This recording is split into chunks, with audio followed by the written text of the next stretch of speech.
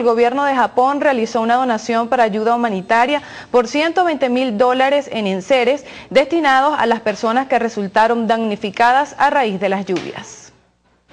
En el acto de ayuda humanitaria se entregaron enseres básicos como colchonetas y artículos de primera necesidad.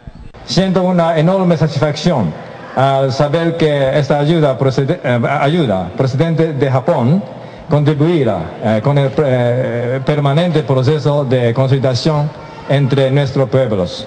Por su parte, el director de despacho de la Cancillería venezolana destacó la importancia de la donación, además de la cooperación del gobierno asiático. Quería, señor embajador, como siempre, amigo de esta, de esta casa, amigo de nuestro gobierno, darle las gracias a nombre de todo el pueblo venezolano, eh, repetirle y decir aquí en público que el Japón siempre se ha manifestado a pesar de la distancia geográfica, eh, se ha movilizado de manera con su capacidad organizativa y logística tan importante para responder en el momento de la emergencia. Este donativo forma parte del acompañamiento y solidaridad de los países que han manifestado su ayuda dirigido a contribuir a la recuperación de los afectados por las lluvias.